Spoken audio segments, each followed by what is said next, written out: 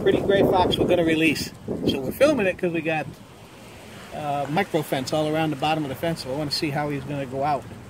So I'm going to cover him so he doesn't see me uh, open the cage. And then hang on.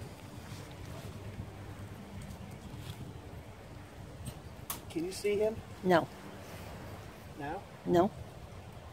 Get back a little. Okay, I want to see if he turns. Let me know when he turns. okay. Nope, he's looking.